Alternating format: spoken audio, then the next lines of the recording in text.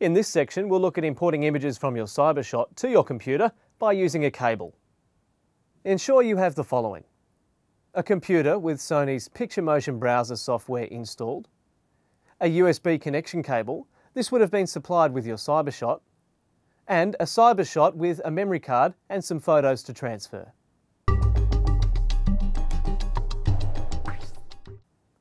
Turn on your CyberShot and computer and then launch the Picture Motion Browser software. Take the USB cable and connect the end with the multi-pin connector to your CyberShot.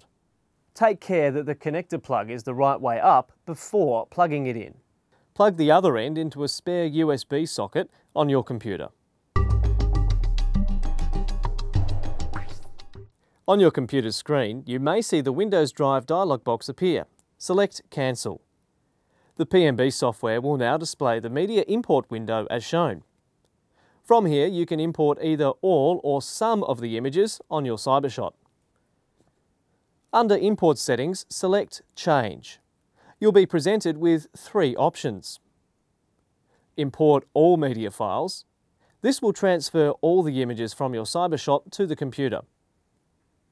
Import only those not imported. This will transfer all the new images that you've not yet imported. Select Media Files to import. This option will allow you to select individual images without transferring everything at once. Under the three options, you'll also see a checkbox.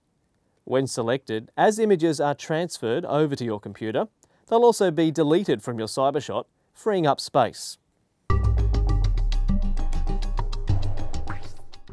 Next, you can select where you'd like the images saved on your computer's hard drive. Under the heading Import Media Files to, the My Pictures folder is selected as a default. To define another location, select the Browse button to select or create another directory. When you're ready, select Import. The importing of your images will begin. When complete, a dialog box will appear. Select Open Import folder in PMB. From here, you can play or share your videos and images using the options in the PMB toolbar shown.